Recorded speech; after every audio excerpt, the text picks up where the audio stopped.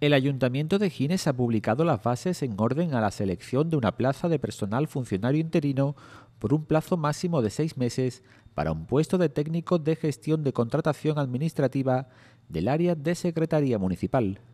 Entre los requisitos para poder optar a esta plaza, los aspirantes deberán estar en posesión del título de Diplomatura en Gestión y Administración Pública y o doble grado en Derecho y Gestión y Administración Pública o doble grado en Administración y Dirección de Empresas y en Derecho.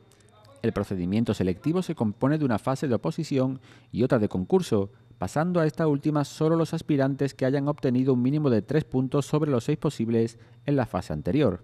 Las personas interesadas pueden entregar su solicitud y la documentación necesaria en la sede central del Ayuntamiento en la Plaza de España número 1, hasta el 6 de mayo inclusive, en horario de 9 de la mañana a 2 de la tarde. Las bases completas pueden consultarse en la web municipal, en la dirección de internet www.ayuntamientodegines.es.